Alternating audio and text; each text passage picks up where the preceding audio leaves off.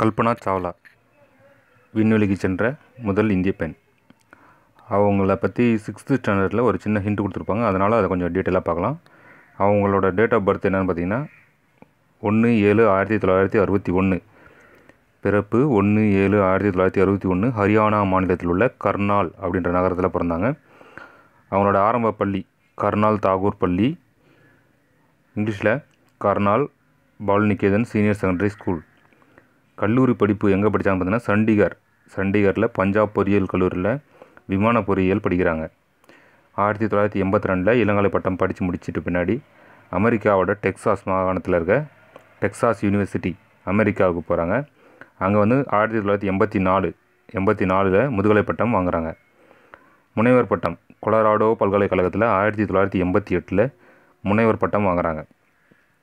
ஆயிரத்தி தொள்ளாயிரத்தி எண்பத்தி எட்டில் நாசா அமஸ் ஆராய்ச்சி கூடத்தில் துணைத் தலைவராக வேலை செய்கிறாங்க ஆயிரத்தி தொள்ளாயிரத்தி எண்பத்தி எட்டில் நாசா அமஸ் ஆராய்ச்சி கூடத்தில் வே துணைத் தலைவராக வேலை செய்கிறாங்க ஆயிரத்தி தொள்ளாயிரத்தி தொண்ணூற்றி மூணில் தனியார் நிறுவனத்தில் ஆய்வு விஞ்ஞானியாக பணியில் சேர்றாங்க. ஆயிரத்தி தொள்ளாயிரத்தி தொண்ணூற்றி மூணில் தனியார் நிறுவனத்தில் ஆய்வு விஞ்ஞானியாக வேலை செய்கிறாங்க விண்வெளிக்கு செல்ல அந்த டைமில் மொத்தம் மூவாயிரம் பேர் அப்ளை பண்ணியிருந்தாங்க. அதில் செலக்ட் ஆனது ஆறு பேர். அந்த ஆறு பேரில் ஒருத்தர் தான் கல்பனா சாவ்லா. அவங்களுக்கு ஆயிரத்தி தொள்ளாயிரத்தி தொண்ணூத்தஞ்சில் ட்ரைனிங்காக கூப்பிட்டு அதே வருஷத்தில் அவங்களோட ட்ரைனிங் வந்து கம்ப்ளீட் ஆகுது. பயங்கரமான உடல் பரிசோதனை எல்லாமே முடிஞ்சு அதில் பாஸ் ஆகி இப்போது ஆயிரத்தி தொள்ளாயிரத்தி தொண்ணூத்தஞ்சில் பயிற்சி முடியுது. ஆயிரத்தி தொள்ளாயிரத்தி தொண்ணூற்றி ஏழில் நவம்பர் பத்தொன்பதாம் தேதி முதல் பயணம் கொலம்பியா விண்கலம் எஸ்டிஎஸ் எயிட்டி செவனில் பறக்கிறாங்க. இந்தியாவுக்கு முதல் முதல்ல பறந்த முதல் பெண்மணின்ற பேர் அதன் மூலமாக அவருக்கு கிடைக்குது. அமெரி அது கிளம்புன இடம் பார்த்திங்கன்னா கேப் கனவரல் அப்படின்னு சொல்கிறாங்க அதில் ஆறு பேர் மொத்தம் பயணம் செஞ்சாங்க. இதுக்கு முன்னாடி இந்தியக்காரங்க ஒருத்தர் போயிருக்காரு. அவர் யாருன்னா ஆயிரத்தி தொள்ளாயிரத்தி எண்பத்தி நாலில் ரஷ்யா விண்கலத்தில் பயணித்த இந்தியர் ராகேஷ் சர்மா. ஆயிரத்தி தொள்ளாயிரத்தி எண்பத்தி நாலில் ராகேஷ் சர்மா முதன் முதல்ல விண்வெளிக்கு போயிருக்காரு. அதற்கு பிறகு பெண்களில் ஃபஸ்ட்டு போனது கல்பனா சாவ்லா. கல்பனா சாவ்லாவுக்கு அந்த கொலம்பிய விண்கலத்தில் இயந்திரங்களை இயக்கும் பொறுப்பு கொடுக்கப்பட்டது.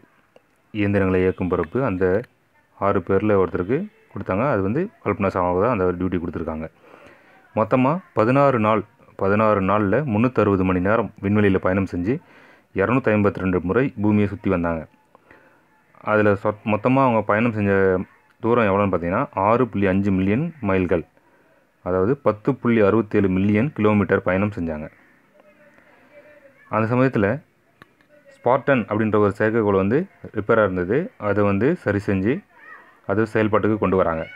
ஆயிரத்தி தொள்ளாயிரத்தி தொண்ணூற்றி ஏழாம் ஆண்டு டிசம்பர் அஞ்சாம் நாள் பதினாறு நாட்கள் பயணத்தை முடித்துக்கிட்டு திரும்ப வராங்க. ஆயிரத்தி தொள்ளாயிரத்தி தொண்ணூற்றி ஏழு டிசம்பர் அஞ்சு அந்த டேட்டில் தான் ஃபஸ்ட்டு ட்ரிப்பு போயிட்டு ட்ரை எல்லா ஆராய்ச்சியும் முடிச்சுட்டு பூமிக்கு திரும்பி வராங்க. இதன் மூலமாக விண்வெளிக்கு சென்று முதலில் திரும்பிய இந்திய பெண் அப்படின்ற பேரை கல்பனா சாவ்லா வாங்குகிறாங்க இரண்டாவது பயணம் அடுத்த அஞ்சு வருஷத்தில் மறுபடியும் கூப்பிட்றாங்க. நாசாலேருந்து கூப்பிட்டு ரெண்டாவது டைமுக்கு விண்வெளிக்கு போகிறாங்க ரெண்டாயிரத்தி மூணு ரெண்டாயிரத்தி மூணு ஜனவரி பதினாறில் அதே கொலம்பியா விண்கலத்தில் விண்வெளிக்கு போகிறாங்க இப்போ போனது மொத்தம் ஏழு பேர். சுமார் எண்பது அறிவியல் ஆராய்ச்சி செய்கிறாங்க எண்பது அறிவியல் ஆராய்ச்சி செஞ்சு முடித்து பதினாறு நாட்கள் பயணம் முடித்து பூமிக்கு திரும்பும்போது பூமியை வந்தடைய பதினாறு நிமிஷம்.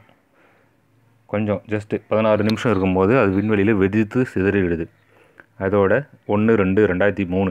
ஒன்று ரெண்டு ரெண்டாயிரத்தி மூணில் கல்பனா சாவ்லாவும் அந்த அவங்க கூட பயணம் செஞ்ச ஏழு பேரும் இறந்து போயிடுறாங்க.